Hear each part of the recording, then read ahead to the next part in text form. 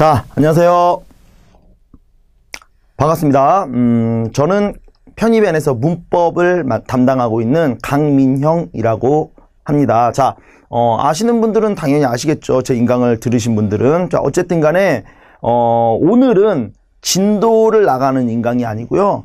어, 서강대학교 기출 문제를 한번 풀어볼 거예요. 여러분들 이제 곧 이제 시험이니까, 뭐, 물론 이걸 언제 보느냐에 따라 다르겠지만, 지금 기준으로는 이제 시험이 뭐 몇 달 안 남았죠. 그러니까 분명히 기출 문제를 여러분들도 풀어야 되고 그 기출 문제 중에 가장 따끈따끈한 올해 1월 달에 나왔던 그죠? 2018학년도 서강대학교 무려 서강대학교 어 한번 기출을 한번 풀어보도록 할 거예요. 일단은 알려드릴 게 여러분들 제가 생각했을 때 지금 이걸 보는 학생들은 당연히 문제를 한번 풀어